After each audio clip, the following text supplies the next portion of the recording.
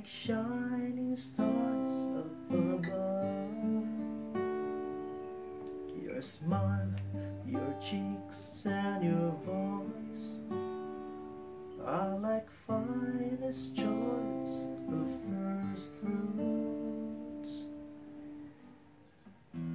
You're a lovely creature that is laid before my eyes with a poor man's eyesight.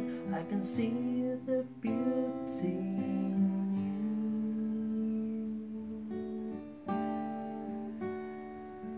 you, Clare.